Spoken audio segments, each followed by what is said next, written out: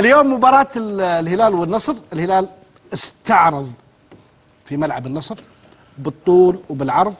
أخذ المباراة يعني بكل راحة وسيرها بالطريقة اللي تعجبه وخلصها من الشوط الأول وتعامل مع الشوط الثاني وكأنها يعني حصة تدريبية. اللعيبة يلعبون يمررون كور ما شفنا يعني ذاك الضغط الهلالي اللي كان موجود والزخم اللي موجود في الشوط ال- الأول.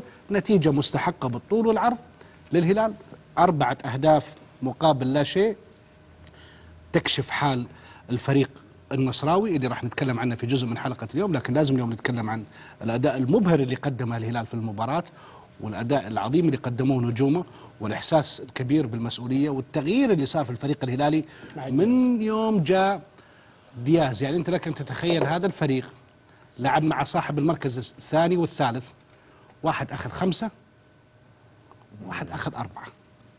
يعني عشان تعرف هذا المدرب وش سوى في الأدوات اللي عنده وكيف قدر بكل سهولة. وفي فترة بسيطة انه بس يغير ال- التشكيل. واحدة من الأشياء اللي قريتها قبل شوي في تويتر قبل الهوا مهمة قبل ما نشوف تقرير المباراة.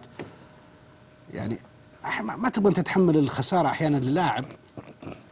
ما تبغى تحمل الخسارة أحيانا للاعب لكن أحيانا في وقت يصير اللاعب هو اللي في مرمى السهام. أنا إن شاء أيوه أيوه أيوه أيوه. لدمجه كذا نيك نيم معروف في تويتر يعرفونه أكيد كثير رياضيين ونصراويين. يقول دياز فاز بخمسة 2017 والح وال- والحارس وليد. ولف الدنيا. ورجع 2022 وفاز بالأربعة ولا زال الحارس. وليد عبد الله. هذا الموضوع راح نتكلم عنه بكل التفاصيل اليوم في الحلقة. نتكلم عن الفائز والأداء المبهر اللي قدمه الهلال. ألف ألف مبروك للهلال. هاردك للنصر.